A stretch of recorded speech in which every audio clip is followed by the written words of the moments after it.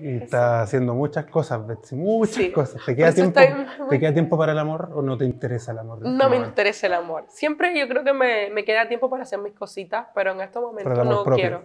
Sí, sí, sí, sí. Mira, el amor propio es esto, mis lipos, mis dientes, eh, salir a tomarme una cosita rica, salir a comer rico, pero eh, de amor no. ¿Por qué? amor, ¿Porque no. sido que te ha ido mal? ¿Porque no, no has A mí me ha ido divino en el amor. Ah. Cuando me va mal, se acaba y Se acaba, listo. no, vale. No, y como te dije, yo siempre soy positiva. Mm. Eh, pero en estos tiempos, en este momento no, no estoy disponible para compartir mis tiempos con otra persona o estar el tiempo de otras personas. Como, oye amor, comamos ahora, tengo una reunión, pucha, no puede, el otro se bajonea, yo me bajoneo. No puedo con eso. Y No quiero eso.